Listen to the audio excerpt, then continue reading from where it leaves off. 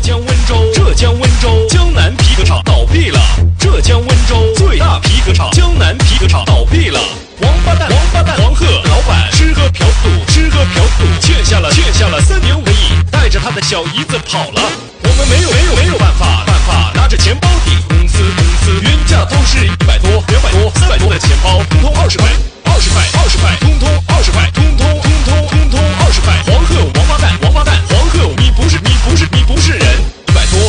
三百多的钱包。通通二十块通通二十块黄鹤王八蛋王八蛋黄鹤你不是你不是你不是人。